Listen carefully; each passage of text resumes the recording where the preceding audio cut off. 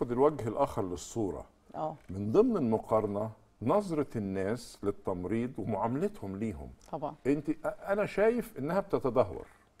أنا ال- شايف معاملة التمريض لل- الناس الناس. للتمريض آه. نظرتهم آه. للتمريض.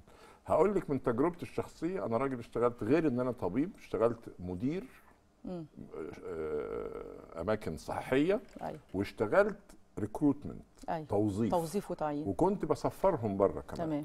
فاحتكيت بفئة التمريض. بكل مستوياتها. بلاحظ إن كثيرين عايزين يغيروا المهنة بالذات اللي خدوا بكالوريوس. حقيقي. تحس تلاقيها حقيقي. بعد ما خلصت التمريض بتنتسب لكلية نظرية. حضرتك عندك حق. أو تروح تاخد ماجستير جودة. حضرتك عندك حق. اتفضل. ليه؟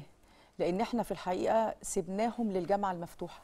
هي عايزة تحسن من مستواها وتاخد بكالوريوس. بصرف النظر بقى. أنا ممكن آخد بكالوريوس تجارة حقوق أي أيا كان.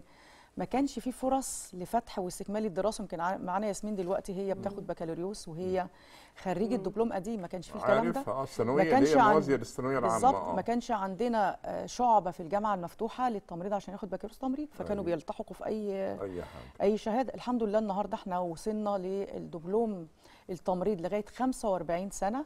تقدر تخش في البرنامج التجسيري والبكالوريوس التقني والماجستير والزمالة والبورد العربي. طيب قبل ما انتقل لبناتنا الحلوين عايز أسألك سؤال مهم جدا في الجزئية دي. اتفضل. نسبة اللي بيغيروا ال career قد إيه عندك؟ الفترة اللي فاتت قبل استكمال ال- فتح الفتح البرامج الجديدة في الحقيقة كانت نسبة كبيرة يمكن أكثر في المستشفيات الجامعية. ما تقدريش ممكن تدي أي تقدير هو ممكن أقول من 7 ل 10% ودي نسبة كبيرة بالنسبة لنا وإحنا بلد أصلا التمريض فيها في عجز آه، في عجز شديد. فكمان 10% في تسرب. أكثر من عجز يعني أنا بحب دايما أقول كلمة تسرب أكثر من تسرب، عجز لأنه آه. بيروحوا القطاع الخاص بيسوق الحكومة عشان طبعا لو حضرتك اديت لنا فرصة إن إحنا نتكلم على. طبعا العائد المادي القليل لا